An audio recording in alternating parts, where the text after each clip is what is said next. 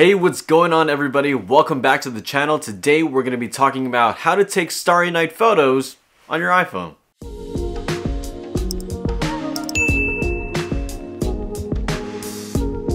With the introduction of night mode in the iPhone 11, mobile photographers were finally given the ability and the features to capture low light scenes on this camera that's in their pockets. That feature has since been upgraded in the iPhone 12 series. I have the 12 Pro Max and the low light capabilities are humongous. I can capture so many things in even starry night photos. But there are a few necessary steps to capturing a very crisp image like these and I'm not kidding, the iPhone 12 Pro Max can make these images for you in the right conditions with the right settings.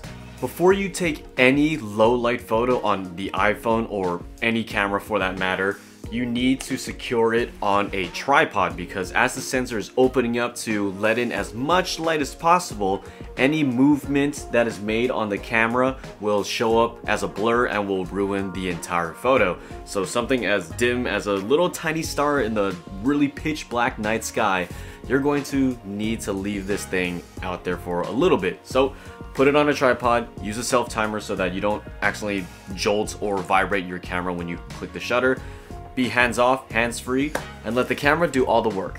One important tip that I really want to share with you guys is no matter how good night mode is on the iPhone 12 Pros or the 11s, you should totally get away from city lights because if you're trying to photograph something as dim as a star in the night sky, having mall parking lights around you is just not good. So try to find some really dark pitch black area, maybe on top of a mountain or in the woods with a clear opening in the canopy.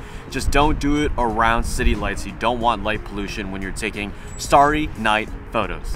Alright, so you got your phone set up on a tripod, you're in a nice pitch black area, whether it's in the woods or in the mountains or wherever, there is no city light pollution. I highly recommend using these two apps and unfortunately the native camera app on the iPhone is not going to be good enough to do this because one, you don't have manual control over night mode on the iPhone. It'll give you suggestion, it'll give you some limits, but it'll never be enough to capture the starry night that is in front of you. So the first app that I recommend is called Slow Shutter Cam. Slow Shutter Cam is super cool because you have full manual control over every single setting on the iPhone camera up to the ISO, the shutter speed, and the noise reduction. I highly recommend using ISO 1600, maybe 30 to 60 seconds on the shutter, and noise reduction at high. And with these settings, you can capture nice starry night photos pretty easily actually. And if you're photographing the night sky from May to July without any moon in the sky, you might catch the Milky Way in your photo, which will be super cool. If you have no idea what ISO or shutter speed or noise reduction is and you don't really want to like fidget with the settings and waste your time doing that,